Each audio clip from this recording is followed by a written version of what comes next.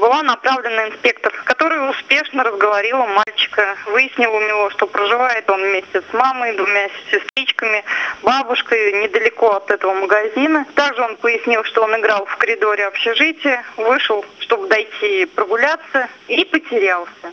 У них трое детей, мама молодая, не уследили. За эту свою беспечность была мама привлечена к административной ответственности.